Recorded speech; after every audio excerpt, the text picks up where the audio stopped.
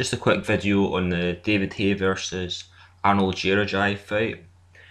Uh, yes, it was a complete mismatch. That's what I predicted. I thought it was going to be a second round knockout. That's what I made in my prediction video. It would be a complete mismatch. It would be an easy fight for David Haye. Arnold Gjergjaj did a lot of things wrong in the fights building up to this. He kept his left hand too low. He uh, kind of I wouldn't say he had a slow left jab, but when he brought it back, he brought it down to his left, just down to his left hand side of his waist, and he left himself open for right hand counter. None of that really mattered in the fight. He went in, he got hit by a good punch from David Haye, and he just kept his guard up the whole time and just pretty much absorbed punishment. There was only a few actual parts of the fight where he actually threw anything back at all, and it was only single punches he he wasn't really doing anything to keep David Haye off him. I mean that's that's the main thing. And when he did get hurt, he should have moved around the ring more, or maybe tried to move around ring more and just throw a jab just to keep David Haye off him. He didn't have the experience to do that. Uh, what my video is actually about is this the sheer hypocrisy and perception of boxers. The thing people need to realise with Arnold Gjergjaj is he was ranked 23 in the world. Now, Charles Martin, who Anthony Joshua just fought there, before he fought Glazkov, he was ranked something like 33, 34 in the world. And in the Glazkov fight, it was scored up until a draw until Glazkov got injured. Uh, it was nothing Charles Martin, and was, he got injured. It was a scored a draw up until then, and that's how he got the belt. Now, since Anthony Joshua's actually beat Charles Martin, and by the way, Charles Martin lost in a similar fashion to Arnold Gjergjaj there. He wasn't doing very much back. He was on the defensive mode right from the start. As soon as he took a good punch, I mean, he wasn't really doing anything in that fight. And why I'm pointing out the hypocrisy is these boxers, Gjergjaj and Charles Martin, are at the same level. They're rising prospects, not very experienced, and when you look at them in the ring, their ability is very similar. But when Anthony Joshua knocks out uh, Charles Martin, people are really talking about you know him fighting top level opponents and how great he is. You know, I'm hearing people that uh, I really respect uh, saying how great Anthony Joshua is after he beat Charles Martin. It wasn't until he actually beat Charles Martin that people actually started to say this for some reason. And Charles Martin was in the same level as Arnold Gjergjaj. Now, David Haye beats Arnold Gjergjaj in, to tell you the truth, a far more impressive fashion than Anthony Joshua beat Charles Martin, and people are uh, just ridiculing David Haye for this taking this opponent, and it's on the same level as Charles Martin.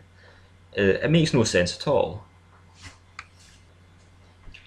Now, what I will add though is since David Haye's comeback, yes, Anthony Joshua has fought a better opponent than Arnold Gjergjaj. He's fought Dillian Whyte. Dillian fights uh, very confident, got a lot of heart, very courageous, and he can punch hard. He comes to fight, but what let him down was his defence and his stamina. And I would say Dillian Whyte uh, is a better fighter than Arnold Gjergjaj by far. But he he was not even ranked. I think he was just actually ranked within the top fifty at the time. He's a rising prospect as well. And even though Dillian Whyte's not at the top level yet, I think he can be in the future.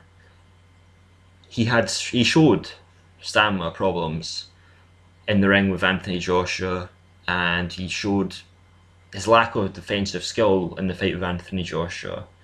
So yes, I would say Anthony Joshua had beat better opponent than David Haye, uh, since David Haye's comeback, of course.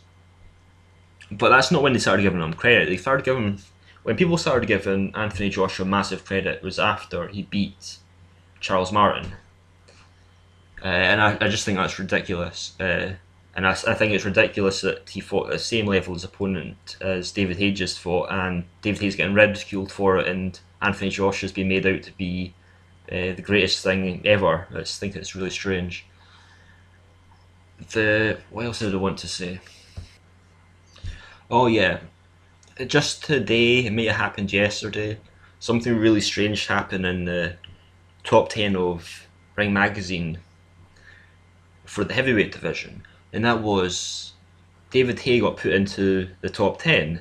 He was number 10 in the Ring Magazine by beating Mark de Mori, and Mark de Mori was ranked with outside the top 100 heavyweights in the world, and I thought it was really strange. And that just shows how people perceive things. You know, Ring Magazine's top 10 is built on perception. I agree with the top five heavyweights, and after that, it's, it just it's just built on people's perception of who's actually the best. It's like this guy's knocked out these guys quite easily, so we, will rank him quite highly because people think he's really good. David Haye knocking out Mark de Mori was very expected. It's not the same as fighting somebody in the top 20 like uh, Derek Chisora even, or Carlos Takam, or anybody like that.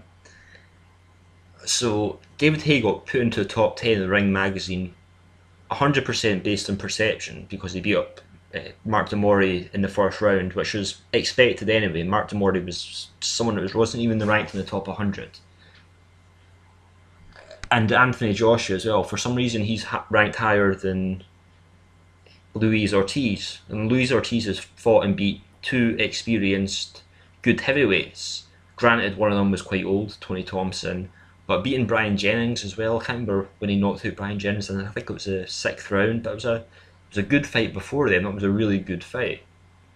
And for some reason, Anthony Joshua, based 100% on the Charles Martin fight, fighting somebody on the same level as Arnold Gjergjaj is ranked higher than Luis Ortiz is just it's beyond me. It's really strange. Uh, so that's all I really got to say about this fight. I'll actually I'll talk about Shannon Briggs's fight as well. Shannon Briggs well, he fought someone ranked 350th in the world. Like all the guys he's been fighting, ranked really high outside the top 100 as well. He knocks out in the first round. It's to be expected. It's not really shown us anything special about Shannon Briggs. We know very little about how good he is still. If you want a good indicator of how good Shannon Briggs is, you need to look go back and look at the last two good real fights he was in and that was against Vitaly Klitschko and Sultan Ibragimov. And he lost them both. And people don't even rate Sultan Ibragimov very highly, even though he was a highly skilled boxer uh, for some reason. So, don't know how good Shannon Briggs is. He looked slow, but he's impressive with his power. Uh, he's dodging the punches very well. I'll have to give him that. He'll definitely give him. He'll definitely give David Haye a better fight than Arnold Gjergjaj and Mark de Mori though. That's that's granted, and the build up to it will be amazing. I'm not going to give a prediction video right now, but who I think will win that fight. But uh, well, I think David Haye will win that fight. But uh, what round yet? I'll do a prediction video on that later.